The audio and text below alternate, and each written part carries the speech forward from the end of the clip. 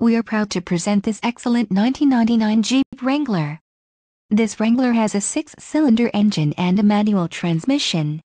This vehicle has a red exterior and includes the following options, alloy wheels, clock, in radio, convertible occupant rollover protection, convertible roof, manual, four-wheel drive, front seat type, bucket, passenger airbag, power steering.